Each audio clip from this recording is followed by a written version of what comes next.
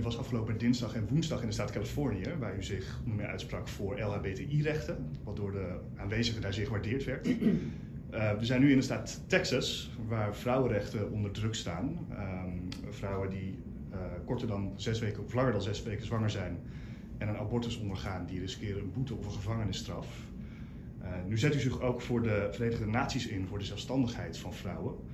Hoe raakt deze achteruitgang van vrouwenrechten in Texas u?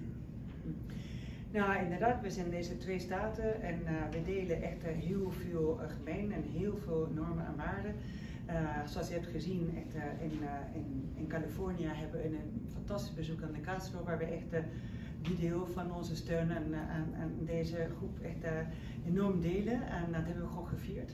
En hier in Texas inderdaad, echt, is, zitten gewoon heel veel verschillen tussen die twee staten. en daar is, we hebben onze zorgen geuit over echt, uh, wat wij helemaal achter staan. En dat is de keuzevrijheid van vrouwen en meisjes uh, ten aanzien van, uh, van abortusrechten. Um, we hebben een hele goede discussie gehad. Natuurlijk heeft de minister Schenemacher, die heeft namens het kabinet zorgen geuit.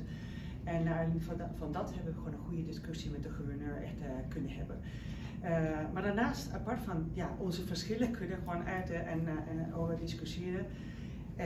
het is heel belangrijk dat we nog steeds ook heel veel wat we wel delen dat we heel veel echt kunnen doen, zoals in klimaatverandering, kustbescherming, aan de gezondheidszorg.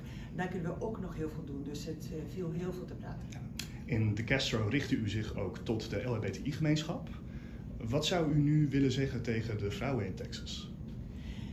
Nou, ik denk dat het hetzelfde ik zou zeggen tegen alle vrouwen overal in de wereld en niet speciaal in Texas dat uh, vrouwen moeten hun kansen pakken en zoveel mogelijk hun keuzevrijheid uitoefenen.